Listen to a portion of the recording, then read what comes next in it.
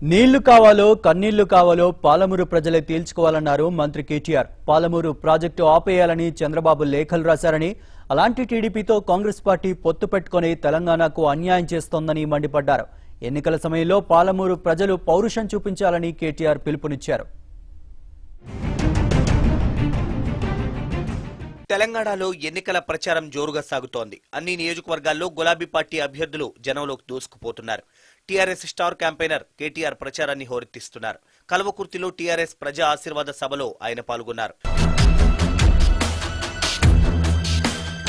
పాలమూరును labour జిల్లాగా మార్చింది కాంగ్రెసే అని ఆరోపించారు. రాష్ట్రంలో రైతు ఆత్మహత్యలు తగ్గుతున్నాయని అయితే కాంగ్రెస్ రెండు వందల కేసులు వేసి రైతుల నోరు కొడుతోందని మండిపడ్డారు.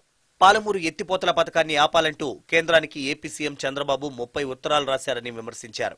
వారితో కాంగ్రెస్ ఎలా పొత్తు పెట్టుకుంటుందని ప్రశ్నించారు. పాలమూరు రైతులకు నీళ్ళు రావద్దు. కన్నీళ్ళే రావాలి. పాలమూరు రైతులు బాగుపడద్దు. ఆ రైతుల నోట్లో మట్టే పడాలని చెప్పి చంద్రబాబు నాయుడు ఆంధ్రప్రదేశ్ ప్రభుత్వం ముప్పై ఉత్తరాలు కేంద్ర ప్రభుత్వానికి రాసి మన ప్రాజెక్ట్ అడ్డుకునే ప్రయత్నం చేసింది. కాంగ్రెస్ ఏమో కోర్టుకు పోతుంది. చంద్రబాబు ఏమో కేంద్రానికి పోయి అక్కడ షికాయత్ చేస్తాడు. వీళ్ళిద్దరు ఒకటైనారు. మరి ఇక్కడున్న పాలమూరు మట్టి బిడ్డలు పాలమూరు పౌరుషంతో మరి తెలంగాణను సాధించిన మా అన్నలు తమ్ముళ్ళు అక్కలు చెల్లెళ్ళు ఆలోచించాలని కోరుతా ఉన్నాం. అటు మంత్రి హరీష్ రావు సైతం ఎన్నికల ప్రచారంలో జోరు పెంచారు. సిద్దిపేట నియోజకవర్గంలో ఇంటింటికి తిరుగుతూ ఓటర్లను కలుస్తున్నారు. గజ్వేల్లో కుర్మ ఆత్మీయ సమ్మేళనంలో ఆయన పాల్గొన్నారు.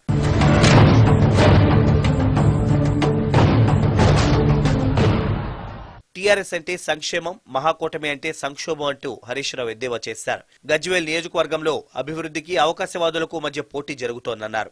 ఈ నర్సారెడ్డి ఉండగా ఒక్క జానెడు మోరి కట్టిండా? జానేడు సీసీ రోడ్ వేసిండా? ఇవాళ ఏ ముఖం పెట్టుకొని ప్రతాప్ రెడ్డి అమ్మ తిరుగుతున్నాడు? ఇద్దరు దొంగలు దొంగలు ఒకటే తోడు దొంగలు. ఆ ఇద్దరు కలిసి ఇద్దరు ఎంబడి పోతే ఈయన ఆయన మీద కేసులు పెట్టించిండు ఆయన ఈయన మీద కేసులు పెట్టించిండు. జనం మాత్రం పోలీసుల చుట్టూ తిరుగుతురు జనం కోట్ల చుట్టూ తిరుగుతురు చీకట్లు మాత్రం ఇద్దరు వీళ్ళు షేక్ హ్యాండ్ ఇచ్చుకున్నారు. మరి మనం మోసపోతాం అగట్లా అంటే తెలివి వాళ్ళకే ఉన్నదా? పనిచేసే కారుకు కేసీఆర్ కే ఓటేస్తామని ఇలా మనం చాటి చెప్పాల్సిన అవసరం కాంగ్రెస్ ప్రభుత్వంలో కుర్మలకు గుంటడు జాగా కూడా ఇవ్వలేదన్న హరీష్ రావు.